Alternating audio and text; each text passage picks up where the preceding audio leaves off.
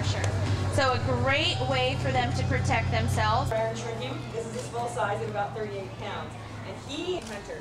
And oftentimes you will see servals hunt. And then their horn will continue to grow through their entire lifetime.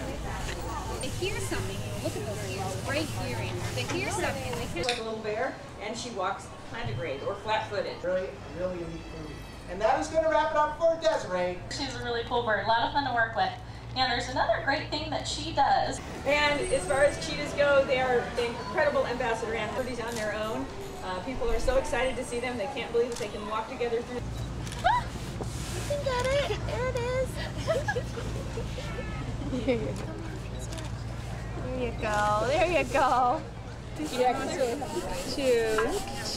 He's about 3,500 pounds, so he's actually And we are hoping that she she goes with three, really not feathery. Beautiful feathers. Yeah. And then they go back down in here.